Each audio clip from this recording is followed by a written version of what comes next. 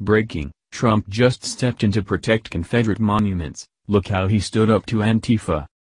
In just the past several days, the alt-left has erased decades of history. They've been brainwashed by the liberal media to hate America and everything that it stands for, which is why they're taking an Orwellian stance on historical censorship. Furious patriots came together in Charlottesville, in a desperate attempt to stop the radical left from destroying the Robert E. Lee Monument, and while the liberal media continues to demonize them, it seems that nothing could be further from the truth. As far as our sources show, the majority of alt-right protesters were peaceful. They were intimidating, yes, but that's because when you're up against Antifa thugs you have to be. The alt-right understood that if the statue of Robert E. Lee was destroyed, then no other monument would be safe. Despite the alt-right's peaceful protest, the far left grew extremely violent. We saw this in Berkeley, and it's beginning to become a pattern with them.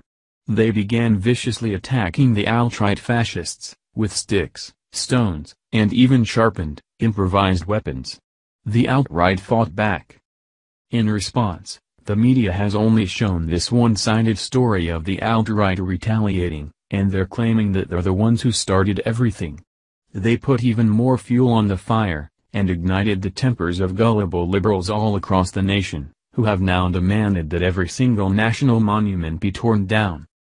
The first domino in this chain of events was Durham, North Carolina, where angry Antifa thugs and liberal lunatics wrapped a rope around a monument of a Confederate soldier, and tore it down. They gleefully cheered as the piece of art and historical symbol fell to the ground, and crumbled on its own weight. We also saw this in Baltimore recently, after Mayor Catherine Pugh made a disgusting and cowardly move to secretly remove four national monuments overnight. Silence is consent previously reported on this. Catherine Pugh, the woman responsible for this eradication of our history, has a history of supporting anti-American causes and pandering to Antifa. A die-hard liberal, the mayor has frequently come under fire for being far too lenient on the black crime rampant through the city. This makes her a perfect Muslim ally. Muslims understand that they need to convert American leaders onto their side, and liberals are the dumbest and easiest politicians to convert.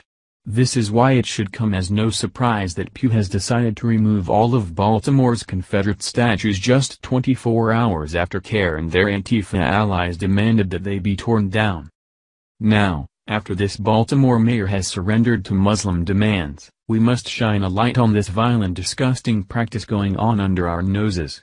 Liberals and radical Muslims have formed an unholy alliance, and are hell-bent on destroying every single piece of history that this great nation has created, which means it's on us to stop them.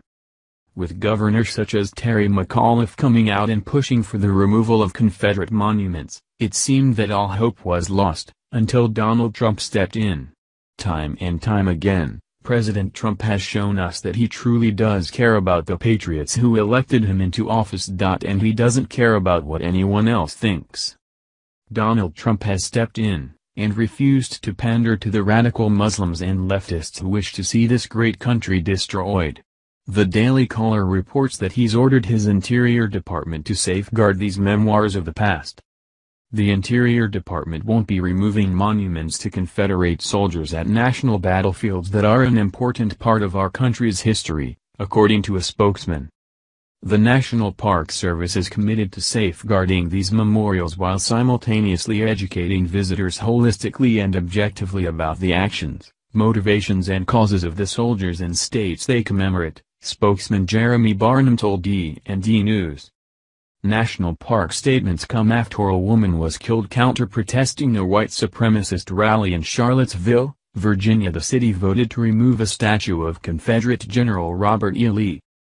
A man driving a Dodge Challenger drove into a crowd of counter-protesters, killing one and injuring 19 others. That man, 20-year-old James Alex Fields, has been charged with second-degree murder.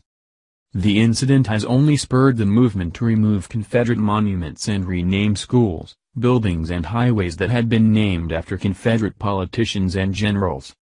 While the far left does everything they can to destroy this country, the iron-willed patriots are fighting back as best they can. Conservatives understand that in order to preserve our great country, we must first preserve our culture, and our heritage. If we cave in now to the removal of Confederate monuments, it's only a matter of time before the left pushes for more and more censorship. When you give them an inch, they take a foot. When you give them a foot, they take a mile. And it's time to stop giving them any more ground. Thank you for watching this video. What do you think about this? Share this on Facebook and Twitter along with your comments. Comments.